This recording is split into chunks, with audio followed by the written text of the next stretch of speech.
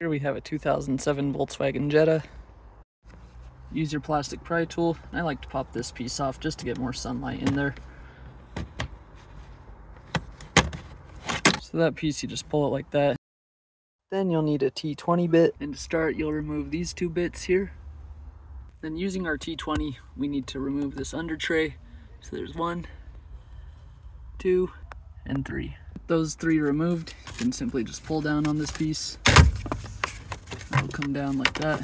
There's the little OBD port connected, but that's fine. There's also this little LED light. In this mess of wires, they're all plugged into the body control module. There's gonna be a tab on the right and the left side, and you push them outwards. Then once you push them outwards, this module can drop down.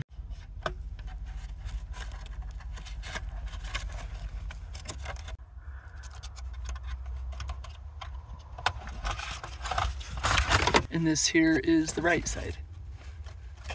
These clips act like a one-way door. So when you slide the module up, it sits on this lip. So when you're trying to get it out, you have to push outward. There's one on each side. You can now see that module's dropped down. See there's water on top of it. So water's been leaking into the dash and straight into this module. Then from here, there's a ton of clips you need to do. As you can see this clip right here, for example, you'll press down on the tab and pull the clip out. Most of them are that way. This big red piece, this is actually a lock for all of those clips. It goes down and up. This way is to unlock them. Then from there, we should be able to unplug all of these cables. If it's in the lock position, they don't come out easy. I've cut the master wiring harness. Don't do that. This is just a demonstration. Then we'll just start unplugging some stuff. So there's the little tab. Press down. Just wiggle and pull this out. All of those clips are very similar except for these ones, top middle.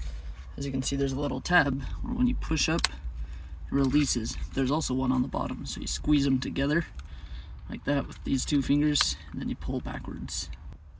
Once it slides over that little lock, just comes straight out. And these are the relays you can unplug and replace as needed.